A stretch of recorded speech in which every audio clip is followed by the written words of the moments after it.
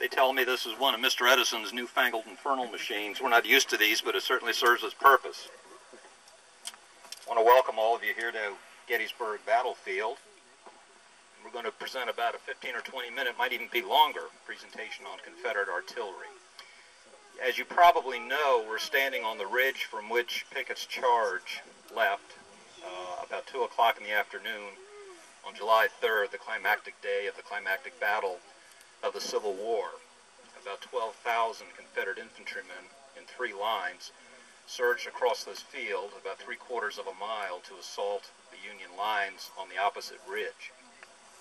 The battle had lasted three days at this point. The two armies had begun to clash on July 1st northwest of town, and as more reinforcements came in, the battle teetered back and forth.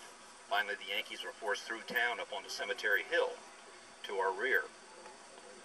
In the night of July 1st, early hours of July 2nd, both armies arrived in force. The Union Army established a two or three mile line along Cemetery Hill behind us, anchored on Culp's Hill to the north, and Little Round Top to the south.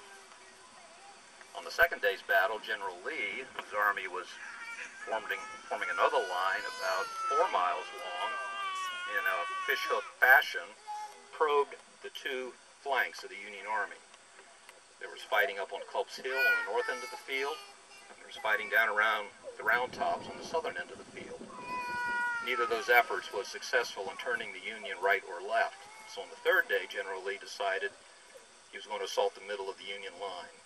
If it had worked, it would have split the Union Army in two, and may very well have ended the Civil War. It didn't work. You know that story. What we want to concentrate on today is the artillery bombardment that preceded Pickett's charge. For about an hour, or perhaps two hours, the accounts vary, about 170 Confederate guns lined up all along Seminary Ridge, from south of here to way north of here, rained shot and shell down upon the Union line over on Cemetery Hill, the objective of softening the line up before the assault. The Union had about 170 guns with which to respond. They did, but they conserved their ammunition for the charge they knew was coming.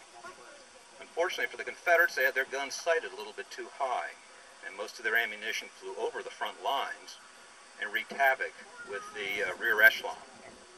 In fact, uh, General Meade and some of his staff were sitting down to lunch when the bombardment began uh, behind the lines, and one of the uh, first Confederate shells to come over the ridge uh, cut in two a private soldier who was serving butter to the generals at lunch.